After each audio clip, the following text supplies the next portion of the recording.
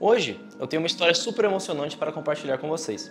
É sobre um morador de Anápolis que sofreu um AVC isquêmico no tronco e ainda assim não se deixou abalar, vencendo todas as probabilidades na busca pela realização de um sonho. Eu sou o Caio Henrique, jornalista da redação do Portal 6 aqui em Anápolis, e neste vídeo eu te conto a trajetória de Carlos Antônio Cardoso. Carlos tem 33 anos e desde o final de 2020 mora em Anápolis. Antes disso, ele viveu toda a vida em Goianápolis, onde nasceu.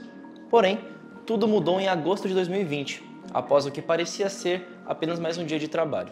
Acontece que o goiano foi surpreendido por uma dor de cabeça súbita, além também de tontura, tremores e formigamento no braço, que são sintomas clássicos de um acidente vascular cerebral, mais conhecido como AVC. A família o levou às pressas para Nápoles, a fim de avaliar o quadro clínico. Entre idas e vindas para diferentes hospitais, a condição acabou se agravando, culminando então em uma parada cardiorrespiratória. Ele me contou que passou quatro longos meses internado, sendo que neste tempo ficou 35 dias na UTI.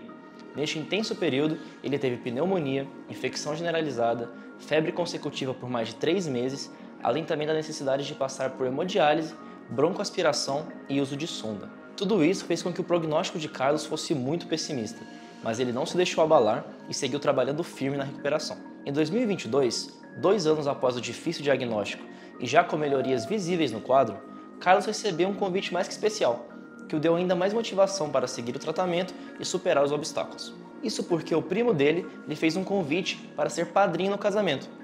Inicialmente, a ideia era de que ele desse apenas alguns passos na igreja e terminasse o percurso na cadeira de rodas, mas o rápido desenvolvimento, aliado também ao incessante esforço do paciente, começou a permitir sonhos maiores. Eu conversei também com o Dr. Felipe Carmo, fisioterapeuta de Carlos, que reforçou a dedicação do goiano e como isso foi fundamental para concluir as metas estabelecidas pela equipe médica.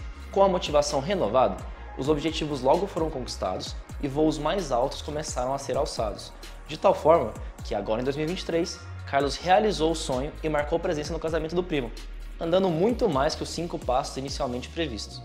Causando uma emoção ainda maior em todos os convidados presentes na cerimônia, ele foi além e completou todo o percurso. E o recado de Carlos para todos aqueles que escutam a história dele é de nunca jogar a toalha, mesmo quando todas as probabilidades parecem estar contra.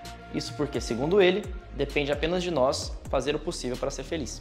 E esse foi o vídeo sobre a história de Carlos Antônio, um homem que não parou de sonhar, mesmo quando muitos já não viam esperança. Espero que você tenha gostado e que siga acompanhando os conteúdos aqui do Portal 6, seja no YouTube, nas nossas redes sociais ou lá no nosso site.